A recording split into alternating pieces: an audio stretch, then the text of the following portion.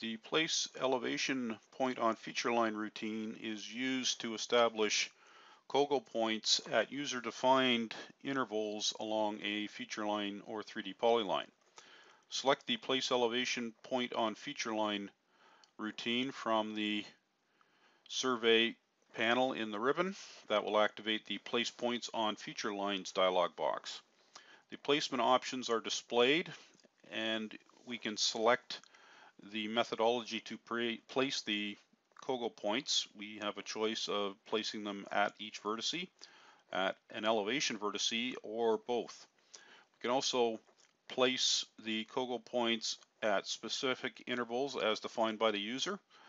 We will set that interval to 10 for this exercise. You can also place the points at selected locations by the user as well. The point options section controls the point style as well as the rotation and the description. We will set the style to point number, elevation, and description, and we will choose OK. We're prompted at the command line to select the object, and we'll choose our feature line. Once we select the feature line, we'll pick enter, and then the COGO points are inserted into the drawing at the predefined interval.